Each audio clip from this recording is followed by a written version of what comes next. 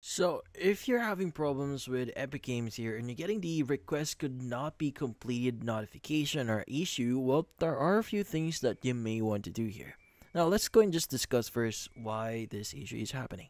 Now, typically, this issue pops up if you are having like problems with internet connectivity or with connecting with their servers.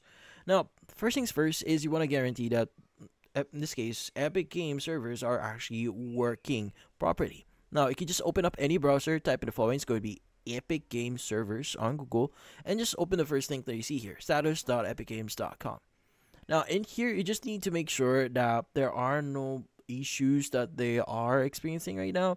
So, for example, you want to look for Epic Games specifically in here or any uh, services that may have been affected in here. Like for example, Epic Game Store or Epic Online Services. You want to make you want to make sure that they are operational. Now, if they are operational and you're having this issue, well, the next thing that you want to do is you want to make sure that you have a stable internet connection.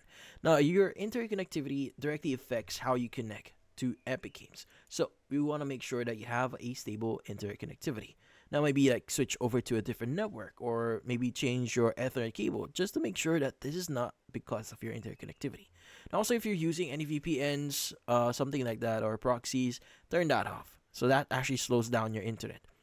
Now, another thing that you may want to do in here is you want to maybe clear your cache folder. Now, how do you do that? Well, you want to go to the search bar here at the very bottom on your Windows PC. Just type in the following. It's going to be run. Going to be run and you want to go and type in the following is going to be percentage local app data percentage and just press enter.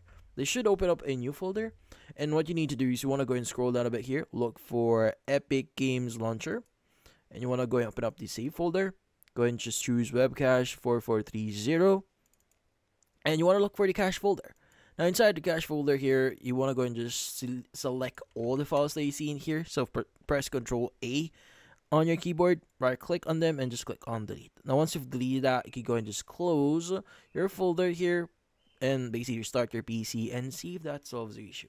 And that's about it. Hopefully this video was able to help you like and subscribe to our channel. Thank you for watching.